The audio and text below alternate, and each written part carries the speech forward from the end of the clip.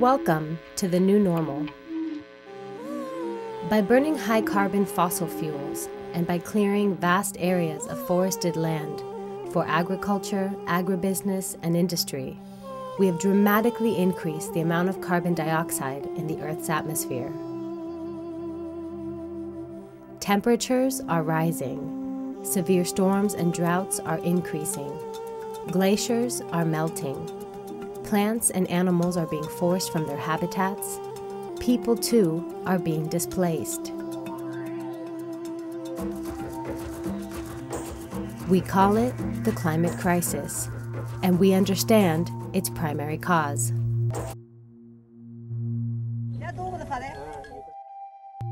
While the 99% of humanity that is most vulnerable strive to adapt, a core of global institutions is actively pursuing false solutions. Why do we call them false solutions? Because rather than getting at the fundamentals of a broken system that has devastated the global ecosystem, policies like carbon trading, offsets, and payment for environmental services focus on maintaining continued economic growth. One such policy is called REDD for reducing emissions from deforestation and forest degradation. Tropical forests naturally capture and store carbon dioxide, but due to industrial development, agriculture, and other demands, an area of forest larger than the nation of England is destroyed every year. Forests are worth more to industry when they are felled for timber, for plantations, for all the demands of industrial civilization. But what if forests were given more economic value if they were left intact?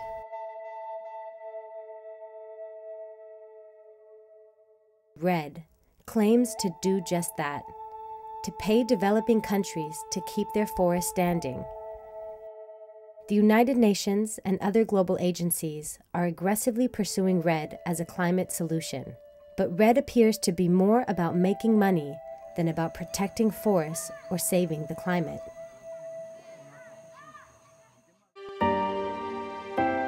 We should have the developed world allocate significant funds in this direction because it is to the benefit of their future economies as well as to the benefit of the local communities and economies of the developing world. In fact, studies have been done which estimate that the value of ecosystem goods and services from the 100,000 odd protected areas on Earth are something of the order of four and a half to five trillion dollars per annum. That's four and a half to five million million dollars per annum. That's a huge amount of the economy.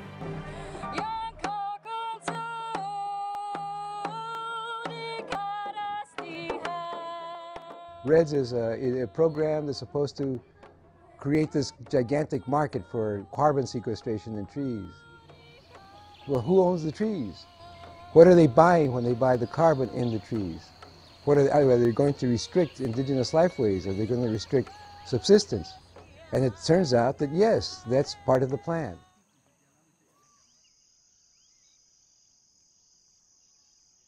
It's going to hand over forest communities and forests to the highest bidder. It means the community forest people can no longer utilize the forest the way they know best to. They can't live off the forest, they can't farm in the forest, they can't hunt in the forest, they can't get their medicines from the forest. They'll be completely cut off.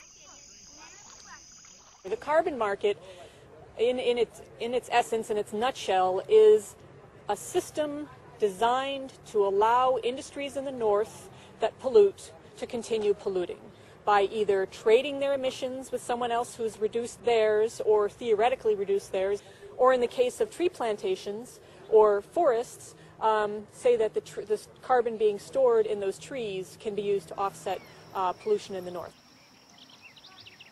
REDD policies are moving forward quickly. At the United Nations Climate Summit in Cancun, Mexico in 2010, REDD had come to dominate the negotiations. The multilateral development banks and the world's major financial institutions are already investing millions to pave the way for REDD. It's absolutely clear that REDD Plus enjoys very broad support all around the world. And it's pretty easy to see why. It offers some very significant opportunities to achieve multiple goals. The REDD Plus is one of the best chances we have, maybe one of the last chances we have to really save our rich biological diversity. So we really need this Cancun COP meeting to adopt a decision on REDD+.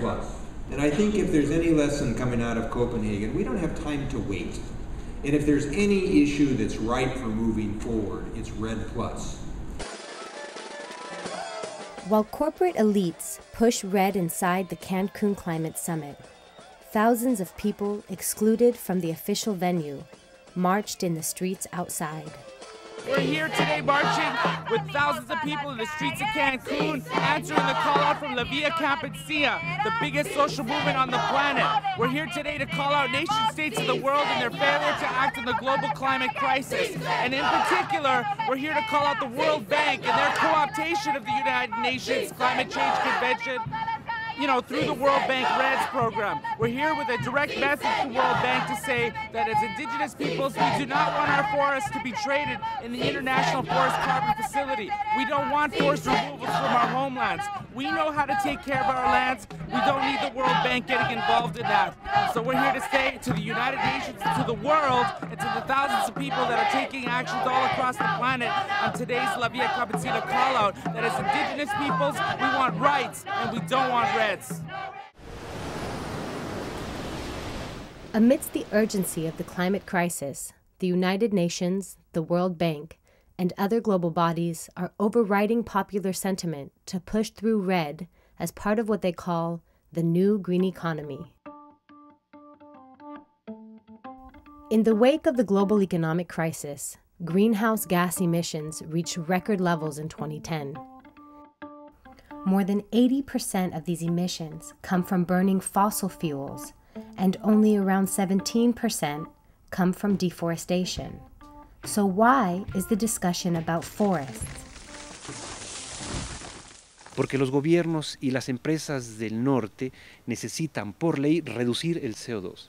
Entonces dicen, en lugar de reducir, lo voy a, voy a comprar la respiración, la capacidad que tienen los árboles de respirar. Se pone entonces como un negocio el pensar que eh, yo no voy a reducir, tú tienes que ser mi sumidero. Entonces eh, los países del sur se convierten en los responsables de absorber el CO2 que el norte está emitiendo. El pago por servicios ambientales es un programa terrible, creo que es un fraude para la opinión pública, es un fraude para la humanidad. Hay seis tipos de gases de efecto invernadero, además de gases venenosos y los árboles solo son capaces de transformar y capturar el, el dióxido de carbono, el CO2. Todos los demás gases no solo no los captura, sino los matan. It is time to end carbon offsetting and carbon speculations as solutions to climate change. We have to see trees for what they are and not pretend that they are nothing more than carbon stocks. I think one of the things that we have accomplished internationally is a declaration on the rights of indigenous peoples that requires states to ask before they take. And that has to be the new relationship between indigenous peoples and the state. Because until they have to ask, it's the same old colonialism that Columbus brought over and whenever.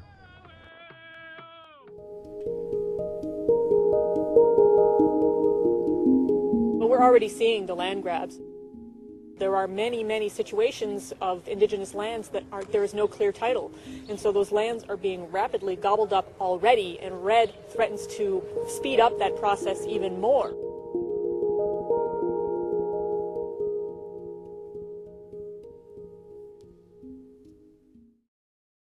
While REDD is being negotiated at the United Nations climate forums, state governments around the world have begun forging their own REDD agreements.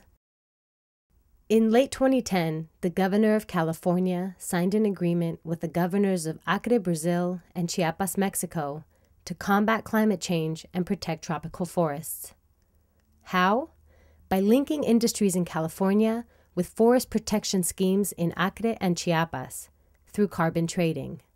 Instead of requiring our California companies to do all their reductions in California, it may be more cost effective for them to um, buy offsets. And that's where the developing countries come in. That's another way for California and other large economies to help the developing world by making those investments through the market.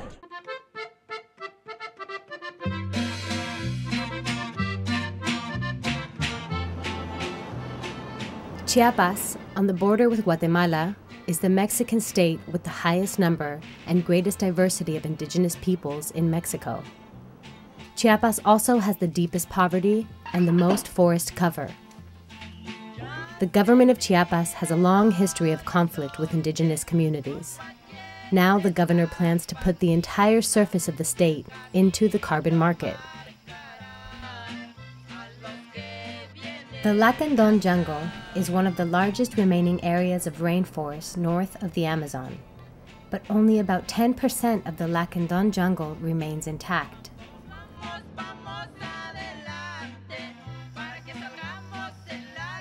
Over the course of many years, numerous communities have settled in areas of the Lacandon that are now designated as natural protected areas, such as the Montes Azules Biosphere Reserve.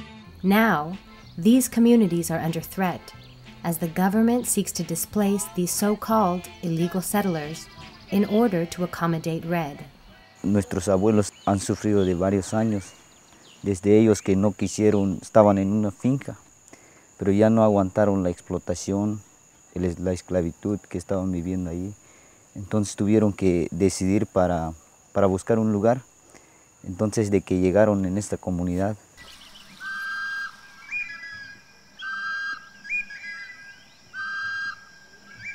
tuvieron que enfrentar muchos, muchos este, enfermedades, mucha injusticia del gobierno. Y este, hasta ahorita lo estamos viviendo. El gobierno no, no nos han apoyado tan siquiera. Nos han tratado de que no somos, de que no somos este, como seres humanos o de que no somos parte de México.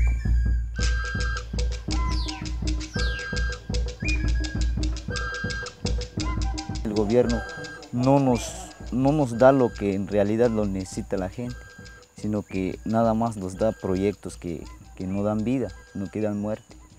Son proyectos que, que nos dan a cultivar este, cuestiones de palma aceite, de todo eso, de otros, de reforestar y de, de sembrar otros árboles que no son conocidos de nosotros. Y eso no lo servimos, no lo necesitamos.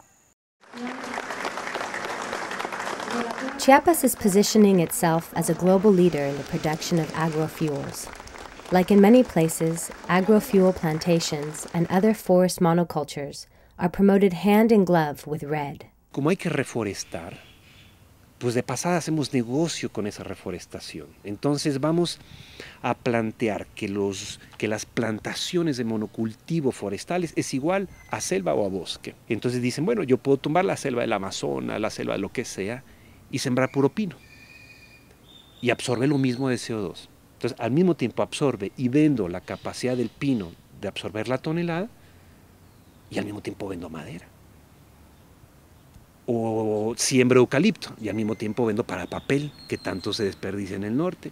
O siembro palma africana y al mismo tiempo vendo la respiración de la palma africana y al mismo tiempo vendo palma de aceite.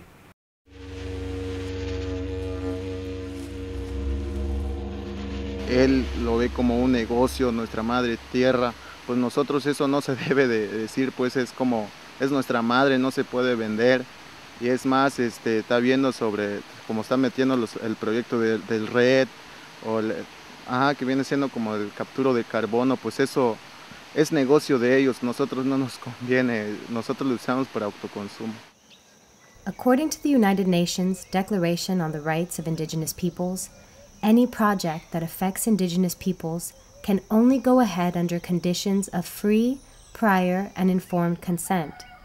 Yet the displacements of indigenous communities occurring right now in the region of Amador Hernandez, with the goal of fencing off the Lacandon jungle for carbon sequestration, are in clear violation of the United Nations Declaration of the Rights of Indigenous Peoples. Lo que dice el gobierno es que nosotros somos destructores, pero eso no es cierto. Tenemos varias, varias áreas que tenemos reservados que, que ahí nadie puede, nadie puede entrar y nadie puede tocar.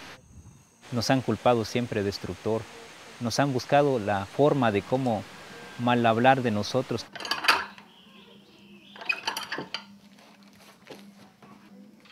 Que ahorita ya no solo el gobierno lo está pensando lo que es gobierno mexicano, sino son planes internacionales. Y por eso nosotros, nuestros abuelos han luchado varios años y siempre han resistido y han vivido acá. Como siempre lo decíamos, nuestros abuelos anda, lo, lo decían siempre que, que no hay otra cosa que nuestra casa es la tierra. Y sin la casa también no podemos vivir.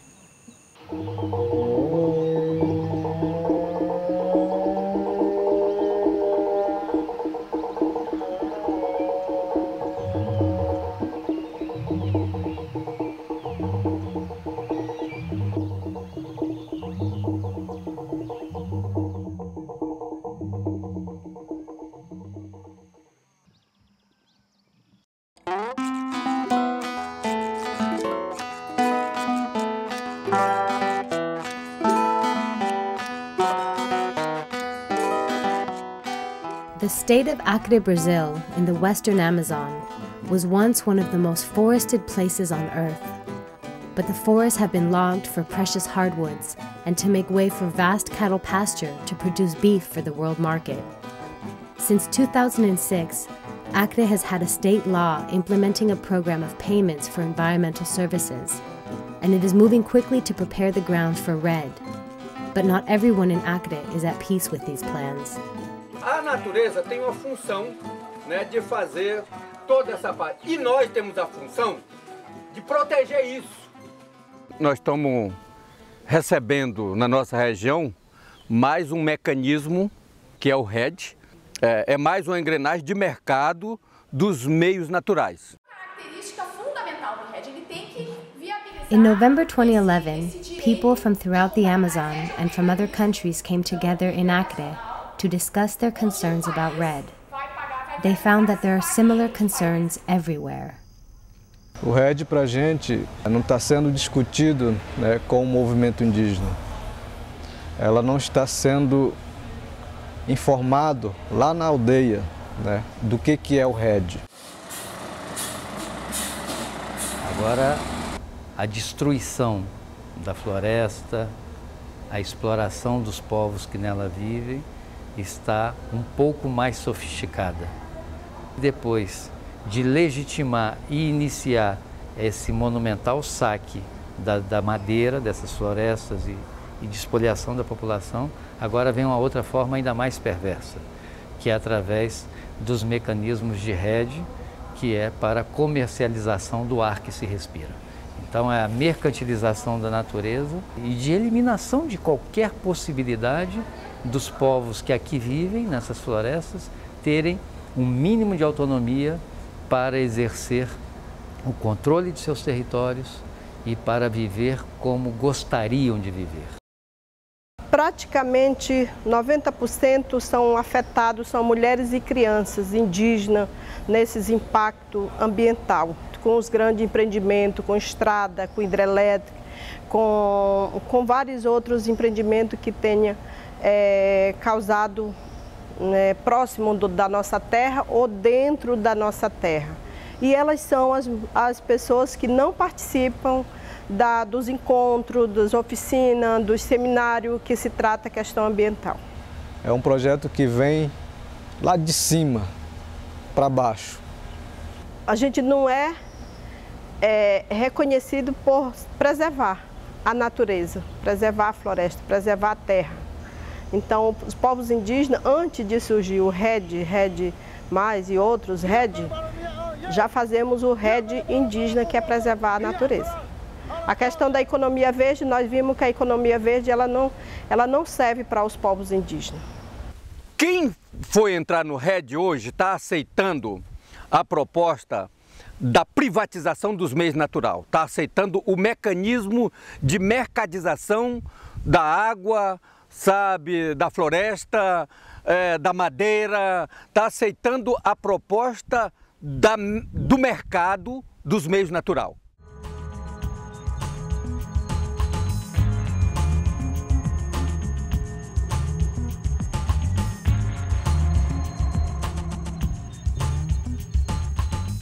California is one of the richest places in the world.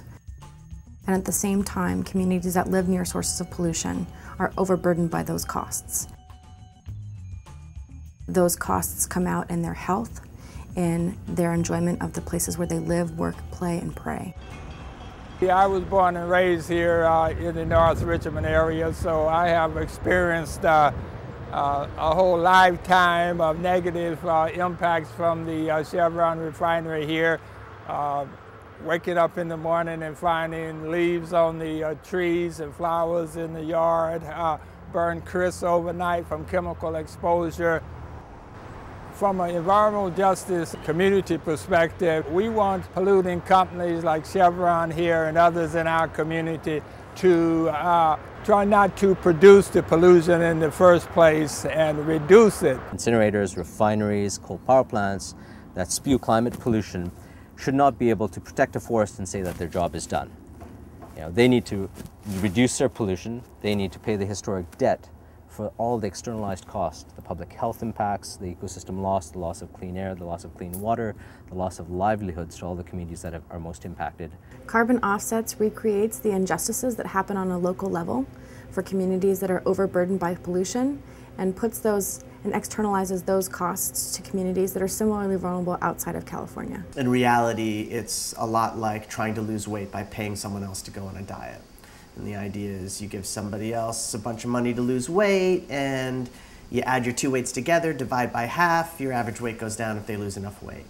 And in the case of some of the particular offsets, in particular the, um, the um, reducing emissions from deforestation and forest degrada degradation proposals, it's a lot more like starving somebody someplace else um, as a way of, of losing weight.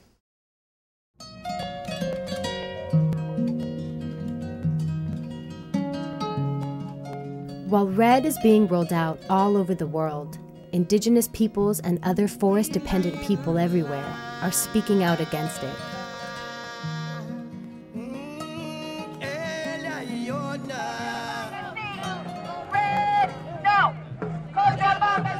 Developed countries does not want to take responsibility to reduce carbon from GHG. We indigenous people will be mostly uh, affected negatively, very adversely by the REDD mechanism. REDD is a market-based mechanism. It talks about market. It talks about uh, a very different way of life about solving the climate crisis.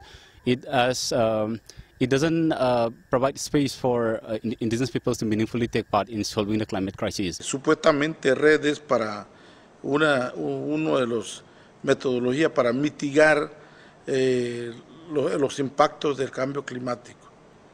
Pero esta vez, a costilla de los pueblos indígenas, piensan hacer eh, el bien supuestamente de la humanidad. My people, the Kuna people, have probably 90% of the forest.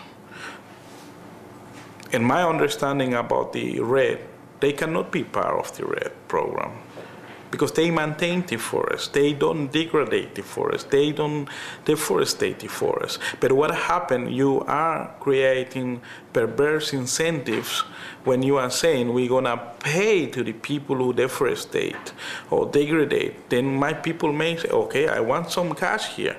I'm going to deforestate my land. We cannot play with the rights of indigenous people like this. Our rights, our ways, our knowledge are ignored by the government, then what should we do? Ensure the full and effective of participation indigenous people. We must also to spread the, uh, what's the meaning of uh, this REDD, what's the effect to our community and to our co-indigenous people.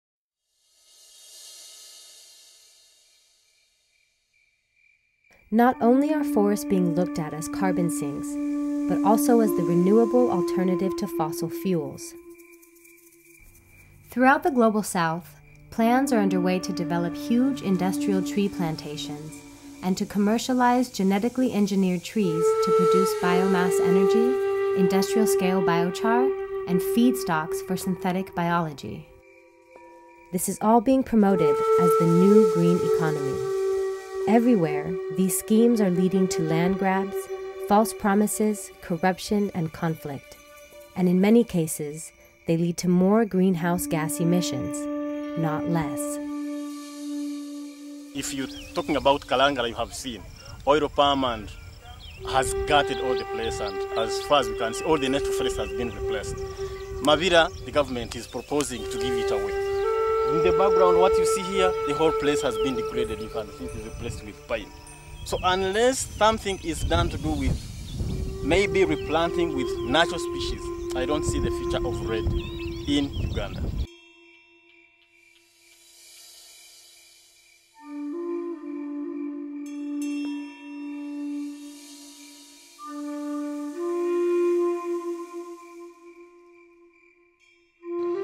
Entonces lo están promoviendo de que solamente el monocultivo es la solución para evitar o para mitigar los impactos del cambio climático. Entonces, si el día en que nosotros eliminamos todo tipo de bosques eh, primarios en ese sentido, se acaba la diversidad biológica, se acaba el conocimiento tradicional, ya no vamos a utilizar la medicina indígena. O sea, entonces nos van a obligar realmente a migrar a las ciudades, a las grandes ciudades. No modifica la emisión, no genera desarrollo en las comunidades, genera más bien concentración de las tierras, exclusión y también eh, expulsión de tierras campesinas indígenas en la medida que se va a convertir en un negocio eh, y oculta el verdadero problema en la verdadera raíz, que los países del norte, Europa, Estados Unidos, Japón, etcétera, emiten el 66% del CO2 y mientras no lo disminuyan, cualquier otro intento de disminuir eh, será realmente una, una trampa. Boleh hutan daerah sini dijadikan istilahnya hutan lindung atau apa ya, yang jelas untuk penghijauan dan segala macam, atau udara supaya istilahnya paru-paru dunia atau segala macam, itu silakan boleh. Cuman saya harap istilahnya untuk di luar negeri pembuatan mesin dan lain sebagainya itu justru istilahnya merusak menyemar, menyemarkan udara itu kami harap ya harus di stop jangan istilahnya dilanjutkan. Jangan kita yang dijadikan korban sementara dia cuman mau ambil untungnya. We the indigenous peoples of the world defend our land life and resources our forest is our soul. Our land is our life. Our river is our blood. Our mountain is our God. We are strong and proud. Son and daughters of the soil. We, the indigenous peoples of the world, assert our right to self-determination. We don't ask for more and we don't want less.